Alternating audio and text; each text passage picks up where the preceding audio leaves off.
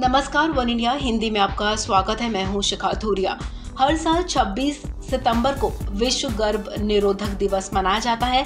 इस दिन की शुरुआत पहली बार साल 2007 में हुई थी। डब्ल्यू समेत कई अंतर्राष्ट्रीय, सरकारी और गैर सरकारी संगठन, गर्भ निरोधक परिवार नियोजन और महिलाओं की सेहत के बारे में लोगों के बीच जागरूकता बढ़ाने के लिए विश्व गर्भ निरोधक दिवस मनाते हैं। विश्व गर्भ निरोधक दिवस को मनाने का उद्देश्य आज की युवा पीढ़ी को यौन जागरूकता की जानकारी देना है। लोगों को समय समय पर कार्यक्रम कर जानकारी दी जाती है। युवा पीढ़ी को गर्भ निरोधक के उपायों के बारे में भी बताया जाता है। इस कार्यक्रम में लोगों को गर्भ धारण के बचाव के बारे में बताया जाता है।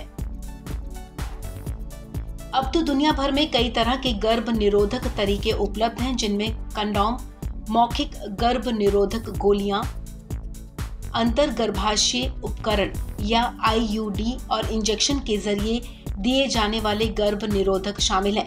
इतना ही नहीं, वैज्ञानिक तो अब एक महीने में एक बार ली जाने वाली मौखिक गर्भ निरोधक गोली का भी विकास करने में जुटे हैं, जो महिलाओं के स्वास्थ्य में बड़ा बदलाव ला सकती है।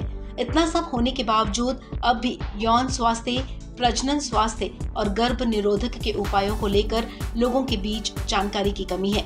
भारत में डब्ल्यूसीडी इसके लिए काम करती है, जो प्रजनन और यौन स्वास्थ्य के क्षेत्र में कुछ एनजीओ और अस्पतालों की मदद से काम करती है।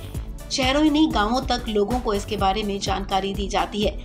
डब्ल्यूसीडी रिपोर्ट के मुताबिक महिला एवं बाल विकास मंत्रालय आंकड़ों के मुताबिक भारत के 21 राज्यों में चौरानवे दशमलव पाँच फ़ीसदी विवाहित महिलाओं को गर्भ निरोधक के उपायों और इसके इस्तेमाल के बारे में जानकारी ही नहीं है। लेकिन जानकारी होने के बावजूद सिर्फ़ 50 फ़ीसदी महिलाएँ ही इन उपायों का इस्तेमाल करती हैं और 44 फ़ीसदी महिलाएँ जो विवाहित हैं और उन्हें इसके बारे में पता है। बावजूद इसके, ये महिलाएँ इन उपायों को नहीं अपनाती हैं। इस खबर में फ़िलहाल इतना ही। तमाम अपडेट्स के लिए आप बने रहें वन इंडिया हिंदी के साथ।